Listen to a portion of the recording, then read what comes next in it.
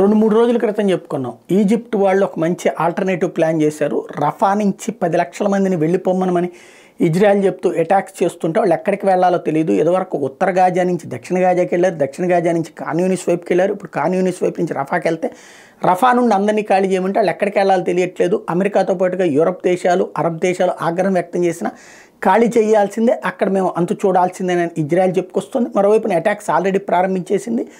పలు చోట్ల దాడులు చేస్తోంది విధ్వంసం సృష్టిస్తోంది. అందులో ఆసుపత్రులు స్వాధీనం చేసుకుని అందులో ఉన్నటువంటి వాళ్ళల్లో ఉన్న హమాస్ తీవ్రవాదులు షెల్టర్ తీసుకుంటుంటే ఆసుపత్రుల పేరుతో వాళ్ళని పట్టుకుని అరెస్టులు చేస్తుంది. ఇదన్నిటి నేపథ్యంలో ఇప్పుడు నెక్స్ట్ స్టెప్ ఎట్లా ఉంటుంది? హమాస్ తీవ్రవాదులకు సంబంధించి ఇదే వీళ్ళకి అంటే ఆ రఫా నుంచి వచ్చే ప్రజల్ని ఈజిప్ట్ తన దేశంలోకి అయితే ఆహ్వానించదు జోర్డాన్ ఆహ్వానించదు అరబ్ దేశాలు ఆహ్వానించవు. వాళ్ళ దేశాలకు వస్తే భయం. అదే సందర్భంలో ఇక్కడ ఇజ్రాయెల్ పక్కన ఉంటే మాత్రం తప్పేం లేదని భావిస్తుంటారు.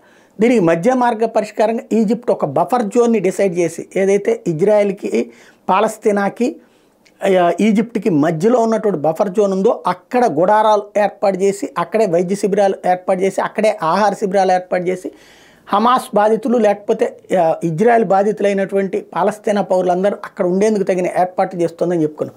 దీనికి ఇప్పుడు మళ్ళీ ఈజిప్ట్ వెనక్కి తగ్గింది. ఎందుకంటే పూర్తిగా అదే భరించాల్సి వచ్చేట్టుంది. ఇంకోటి ఏంటంటే ఈ శరణార్థి శిబిరాలకు వచ్చేవాడు ఏ పని చేయడానికి అంతే.